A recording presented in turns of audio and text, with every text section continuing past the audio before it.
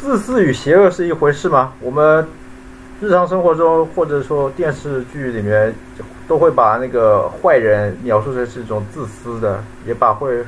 特别是集体主义、利他主义的这种教育背景下，会把自私或者叫利己主义看成是一种邪恶，甚至认为就是自私、利己主义就是邪恶的来源。那么这个是一回事吗？实际上，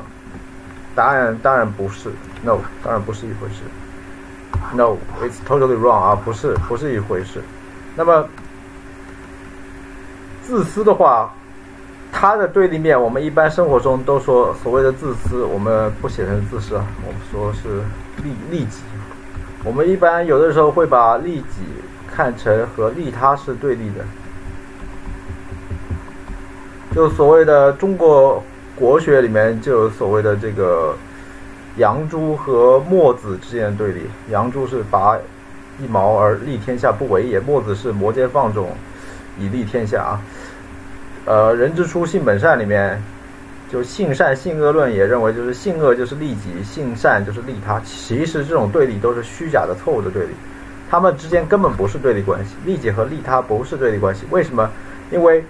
你的利己原则只要稍微推广一下，你就会发现互相帮助。互助，实际上会实现利他。互助的话，会使得利己自己得到更大的利益。会算的呀，精致的这个理性个体都会计算的，就会发现利己，你通过利他，使得整个大环境、整个环境背景得到提升，那么自己会得到更多的呃这个利益，对吧？所以没有必要为了利己而损害他人的利益。最后使得自己利益本身得到损害，所以利己最终会通过互助的形式变成利他。这两个东西的目的是一样的，这两个目的是同一个目的，就是实现整个环境的改善啊，环境的改善，整个合作环境的改善。所以，争执并不是来自于你要利的对象是自己还是他人。因为人类共同体合作起来，双方都会得到好处。那么真正的邪恶啊，真正的邪恶，就是所谓的善良的真正的对立面，这个恶，它来源来源于哪里呢？啊，来源来来源于哪里呢？这个就你要去掌握一些辩证法，你才能理解。其实它最终来源，真正的邪，我们我们分几种人啊？一个是。利己，就叫做所谓的，叫所谓的害人不利己，一个叫害害人不利己，害人利己，还有一个就是害人害己，还有一个叫利人利己。还有一个利人害己，对吧？还有个利人不利己。我们刚刚说了，呃，利人和利己，就利他和利己，实际上都可以是看成是善，因为这个利人害己，它最终如果利人，整个环境改善了，会使得自己获益，那所以它是善的。利人不利己也是的，是善的。利人利己当然就是善的，那么害人害己，害人害己可能就看成是这是邪恶的，这是邪恶的。害人利己，这个最终害人利己，如果他目标是利己，暂时害人，那你这个利了己之后，自己能力提高了，能够让整个环境改善的话，对你害人利己了之后，你变厉害了之后，如果最后你发现你只能通过害人才能利己。你这是不可持续的，你知道吗？你最终会转换成，最终会你自己的利益得到满足，这个是有限度的。自己利益得到满足了之后，你会发现这个害人会不利己的时候，你就会调转过头，它会转化，它会转化成变成，呃，变成利人利己。所以这个最终会通过一种互助的方式转化掉啊，所以它也勉强也可以算是是善的。那么害人不利己。这个就是这个就是恶了，所以唯一的邪恶就是这两个，一个是害人不利己，还有一个是害人害己。害人不利己和害人害己。我们看这两个是是从哪里来的？他们是演化出来的。在卢梭，法国文学家、哲学家卢梭那边，有一种区分，有一种区分，一种就是利己、利己主义、自爱主义 （egoism），它就是所谓的两种爱的区分啊。这种这种爱叫做 love of self，叫 amor de soi。然后还有一种是另外一种，就是爱自己。就不是理解，就是爱自己，对自己的爱，爱己或者什么叫自爱，自爱。另外一种爱叫做 love proper，proper proper 就是 love itself，就是爱本身，爱本身。爱己就是一个人对自己的爱，还有一种叫爱本身。那么从爱己是可以。产生这种爱本身的纯粹的爱，就是以，就我们讲一下它之间的差别在哪里啊？就是爱己的话，爱自己自爱，它是怎么样的？一个人他要获得某个他的目标，比如说一个蛋糕，一个蛋糕，他要获得这个蛋糕是他的目标，中间有一个障碍，就是什么？他考试考了六十分啊，考得很差，他一定要提高这个考试成绩。他考一百分，一百分家里面奖励他一个蛋糕。我这样说吧，这个小朋友他想要这个东西，满足他自己，这个东西满足他自己，这个就叫做爱自己，love of self，这是自爱。但是在自爱的过程中，他要克服一个一个 obstacle，克服一个障碍，中间有个障碍。要把这个障碍给克服了，这个过程中还是自爱。后来，当他发现这个障碍很难克服，或者说，久而久之，这个蛋糕他已经对他没有吸引力的。他在克服障碍的过程当中获得的这个快感、获得的成就感，比蛋糕本身更有价值。所以他以克服障碍本身作为一个目的，而这些蛋糕就虚化了。这些。最终的他本来的那个目的，或者说他为自己获得好处、自立的这个目的本身，让位于克服障碍、克服障碍的这个目的大于自立的，了解吗？就有有些人，比如说一些 PUA 的那种男性，他其实最终想要获得的不是那个。那个性最最终的那个性快感或者怎么样的，他最终的他过程，整个他想的是过程，明白？所谓的这个玩意就是享受过程，享受的一个克服中间障碍的一个过程，享受过程啊。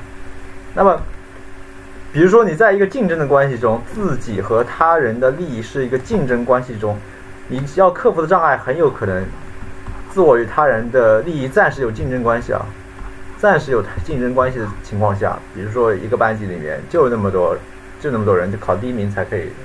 才可以拿吃到蛋糕。那么他就会以克服障碍本身作为目的，这个时候他就会通过损害他人的利益，损害他人的利益，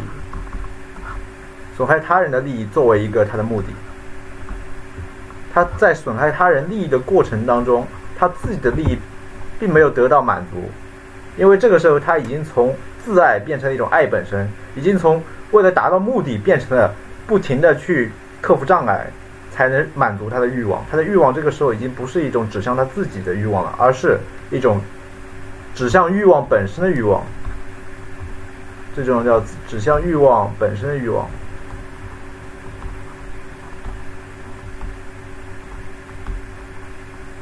这个时候就会陷入一种。本来是要满足自己的需求，满足自己的利益，后来就要变成损害他人的利益，以损害他人的利益作为这种爱本身，爱本身 （love proper），卢梭所谓的 love proper，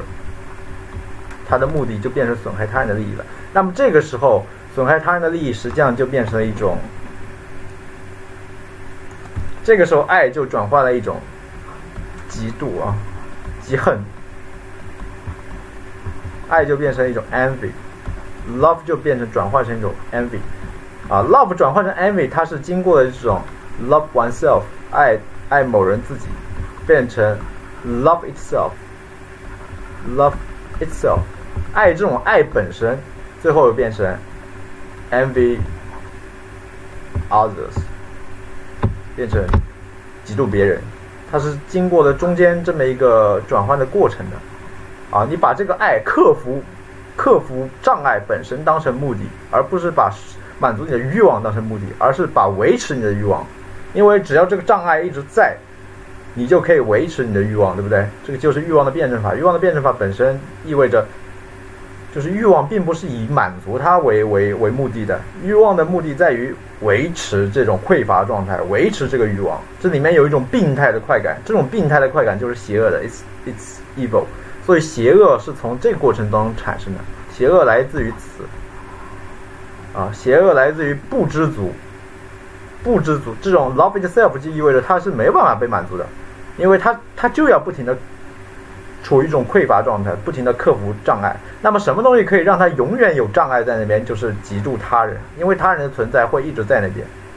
啊，因为他人的存在，他人的满足，他人享受爱欲的那个状态，你是一直可以去幻想、去投射的。所以，最终这种对于障碍本身的。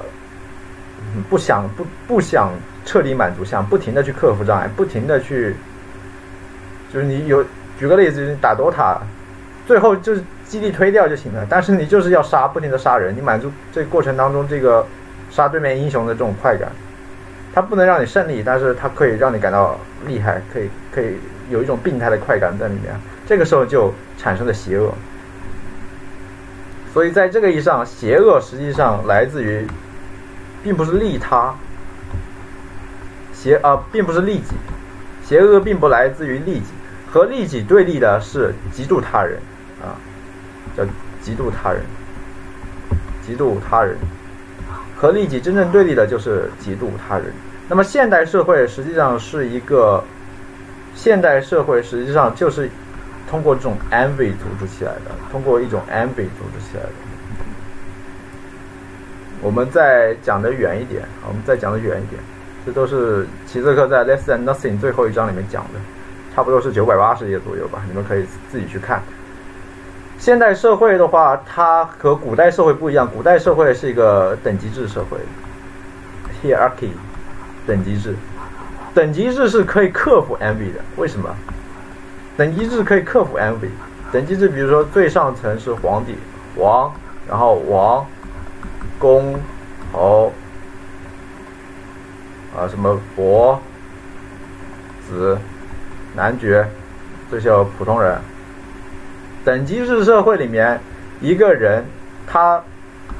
他自己如果说身处低位，是个布衣，就是李斯这种人啊，啊，身处低位是个布衣，他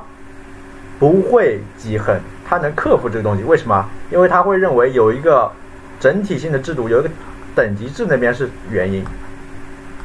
他会以等级制作为他的反抗对象，他要反抗等级制，他不会嫉恨具体的个人，他不会嫉恨具体的个人，因为这是整个制度导致的，这是整个制度导致的，这是在前现代社会啊，但是当代社会，因为它讲究这个工业效率，所以而且他把等级制推翻了。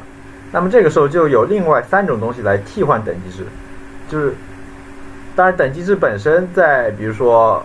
科层制里面也会继续有啊，比如说在科层制里面，在官僚官僚体系里面继续有等级制，它在大部分情况下被推翻了。那么还有第二种代替等级制的去神秘化，我叫去魅。他会把等级制消除掉，啊，或者把这个社会当中的那种，呃，不自己看来不公平、不平等的分配关系，还有就是说地位关系，这是第二种。第一种就是现代社会依然在局部保留等级制，第二种就是在大部分状况下，它是把等级制给去魅的，demystification，demystified，它变成一种。它告诉你，所谓的社会的地位分配实际上是一种复杂的阶级斗争，还有那个社会交往的一个产物。那么就这个时候，人也不会嫉妒别人，人也能够去认同现有的，也不叫认同，就是能接受现有的这种高下之分啊。我是平头百姓，你是掌握权力的，掌握很多资源的。为什么？因为可以去神秘化。这并不是因为你有神秘的本质，而是因为。啊，有非常复杂的，比如说社会阶级斗争的一些张力在那边啊。我是没有遗产继承的，我是没有家庭教育背景的，什么的这叫去神秘化的。还有第三种叫做偶然性，偶然性就是偶然化，contingency 啊，偶然性就会告诉你。就热透彩票嘛，他天生命好，所谓的命好，啊，这个时候也相当于是，但是它和古代的等级制不一样，等级制会把它描述说是一种必然性，啊，它是一种必然性，它是一套一套政治话语缝合起来的一套必然性。那么第三种情况的话，就是通过偶然性来克服，就他命好，他天生命好，老天爷的，他让他中彩票了，或者让他就是说。考试的时候就成绩好或怎么样的，运气好，啊，接受教育好，投胎投的好，啊，这个是第三种，啊，偶然性。那么第四种的话就是，第四种的话就是投射到未知，叫复杂化，复杂化，complexity，复杂性，就是说。社会地位的决定，我是身处低位，你们身处高位。为什么？因为背后有一个很复杂的社会机制，比如说有什么市场上看不见的手，使得这些资本家初期入海的这个有一些资本家运气好，对不对？有因为有看不见的手嘛，看不见的手，市场规则、市场规律是这个是它不是偶然的，它是背后有一套机制在那边，比如说。呃，我我也是公务员，你也是公务员，那为什么我就没办法升迁？他有办法升迁，他就会说背后有一个很复杂的机制，他的能力和这个系统所要求的那一套那个能力更匹配啊，或者怎么样的，也可以迂回的去克制。这四种模式都是用不同的方式去克制人的 envy，v y 啊 envy。那么实际上，envy 之所以会产生，并不是因为。我们通常所说的嫉妒啊，这种嫉恨，嫉恨的产生，并不是因为德不配位。比如说，这个人水平很差，但是他还是身居高位，我嫉恨他。这种嫉恨不是真正意义上的嫉恨，不不邪恶啊，他不邪恶，或者说，他并不是真正意义上的一种呃负面的、邪恶的，可以会会带来那种损人不利己那种纯粹邪恶的那种 envy。真正的 envy 它来自于德配于位，就是现代社会的一个核心矛盾。为什么现代社会要四种这种我们之前讲的四种模式来克服这种 envy 这种嫉恨？因为德配于位是现代工业化社会它这个资产阶级主导的国家相互竞争的一个必要的产物，所以它会使得这个 envy 很容易产生。为什么？因为它要求德配于位，就是能力强的人，能力强者。必然居高位，因为他要整个社会工业化体系嘛，他要求效率提升，这个能力强，所以，所以当一个人面对他身居低位的一个人面对这个真相之后，他才会产生真正意义上的 envy，他会面到面面对到一个 traumatic 的一个现实，自己挫，不是因为有。德不配位，有等级制，有偶然性，有复杂的背后的原因，或者是有某种客观的社会规律，使得那些能力弱的人居高位，而恰恰这个悲惨的现实就是自己能力弱，自己没有了解吗？这个是现代工业社会一个特有的一个一个一个一个结构，就是 modern society 特有的。就是 envy 产生的真正原因，并不是因为看到这个社会上很多尸位素餐、德不配位的人，而是看到真正看到就是邻居就是比我强，他就是比我厉害，就是品德比我高尚，就是头脑比我清晰、明白、聪明。这个时候才会产生真正意义上的嫉恨，这种嫉恨是会造恶的，会产生恶的。就是弱者认识到他自己身处低位的原因，就是因为自己没本事、没能力。真的意识到这一点，真的接受这一点的时候，他就能产生恨意，就会就会作恶。但是我并不是说对这些东西造成说他不应该这样做，这个是现代资本主义社会的必然产生的一个结果。因为总有人在某些地方是，因为他会现在社资本主义社会，他会对于人的某些能力有一些过分的一些需求，比如说工业能力，比如说理理科，比如说设计类的，比如说一些代码编程这些能力，而对于一些情感上的美德，比如说自尊自爱啊，还有一些呃心灵上的、道德上的一些美德，它是不加以支持的，对吧？所以在这个意义上讲。现代资本主义社会所谓的能力强，其实它并不是一个普遍的能力强，并不是说这个能力，而是一个动态的，在一个环境当中、生产体系当中的能力强。但是这就会产生真正意义上的这种 envy，它会产生这种邪恶的、邪恶的，会导致一种损人不利己，损人不利己，利己并不邪恶，损人不利己才叫邪恶啊！为了去。获得克服障碍的那种快感，错误的以为不停的损害别人，就可以满足自己内心的这种空虚的这种渴望。这种渴望并不是以让自己获利为目的的，这种渴望就是以损害别人为目的的。那么这种这种病态的这种这种东西，自我牺牲性的、自我伤害性的，甚至。它是一种自毁欲，它是一种自毁欲，它是一种求死欲，它是人求死的一种，就是以一种病态的循环本身作为目的，它无限循环，无限循环，它不想停下来，啊，它它本身这个欲望，它不是为了追求满足欲望，而是为了追求欲望本身的存在，那么这个过程你就会变成一种邪恶的状态，一种病态的状态。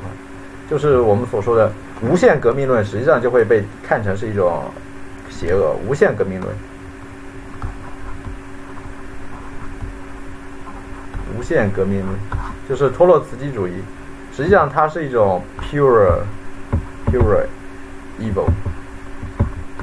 托洛茨基主义，或者我们就雅各宾派的罗伯斯庇尔主义啊，山岳派山岳党人那种，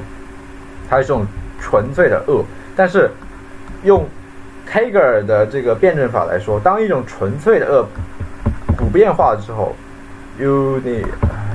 universalize，当一种纯粹的恶普遍化了之后，它就等于 good 啊，一种邪恶当它普遍化。当这种邪恶普遍化展开了之后，它没消灭了所有它的对象，所有的它的那个他者了之后，这种恶就会变成善，就变成至高的善啊。所谓的善其实就是纯粹的恶，所以我并不是说要把善和恶对立起来啊，我并不是说要把这个利己利他、利己或利他这个东西就说成是 it's good it's 善，然后一个损人不利己。或者损人害己，这个东西就看成是一种恶的，然后把这两者对立起来，我不赞同这种世界观啊！我只我这里描述的就是邪恶是怎怎么产生的，它是怎么产生的？因为它是通过这个利己的原则自我循环起来，就是从一种对于自己的爱变成一种对于爱本身的追求。那么什么时候？利己的爱会变成对于爱本身追求，说明这种利己的爱本身就有问题，它才会陷入内在循环。它有一个内在的 obstacle，一个永恒的 obstacle，他没有办法去克服它，啊，他自己内在有一个 obstacle，有一个障碍，没办法克服它。所以就是说，这种善内在的有一个问题，这种善里面就自己就有问题，他自己内在有一个邪恶的，他是，所以他才能衍生出这个恶。而这个恶，只要它普遍化了之后，他把这个。之前的那个内在的那个内核给它阳气了之后，消解了之后，他就能又重新变成新一轮的一个善，他重新定义了什么叫利己，什么叫利，了解吗？他重新开始定义了一个自己的善恶辩证法，善恶的二元秩序。这个恶，极端的恶，因为在一开始所有的革命性行为，所有的损人不利己的行为，所有的革命性的行为都会被看成是损人不利己的行为，因为你要打破这个这个所谓的互助的一个秩序。打破一个互助的秩序，打破一个这个互助秩序里面肯定是，如果是有人不可避免的献出一些核心的本质性的牺牲，不停的在处于悲惨的痛苦的境地的话，它是可以被打破的。这个所谓的善的这个秩序，它应当被打破，特别是集体的善的秩序，它他妈就要被打破，因为这个时候不是外在的力量打破它，而是他自己这个利己原则，他自己循环起来了，他自己循环起来产生的一种极端的恶。它这种极端的恶就是一种革命性的力量，它会推翻这个所谓的善的一个大的共同体的秩序，它就会产生新的普遍化的一个新的共同体的秩序，也就会产产生新的善，它是这样运动起来的。所以，我这个视频就是要讲清楚它这个运动善和恶之间的辩证法运动是怎么运动的，它善里面是如何产生这个恶的啊？好吧，呃，我并不是说。善恶的二元对立，然后损人不利己就是一种极端的邪恶，我们要去反对它，要恶心，要要去鄙夷它。No no no no no，远不是这样的，而是说真正的真正的运动就是从这里开始的，就是从这种 envy。这个 envy 的话，它并不具有在任何既有的伦理语境下没有毫无正当性，它就是纯邪恶，它就是 evil，pure evil。但是恰恰是这种纯邪恶，它能够去极恨、极度的这种纯的邪恶，它能够去慢慢慢慢产生出一种新的啊新的好的东西啊，特别新的新的一种互相获益的一种秩序，它可以推翻前一个伦理秩序，所以它也是一种，它虽然是一种纯否定的一种一种一种一种情感体验，纯粹否定性的一种一种爱一种爱欲。但是它最终能够变成一种新的积极的一种存在，新的积极的存在。我们就讲到这里。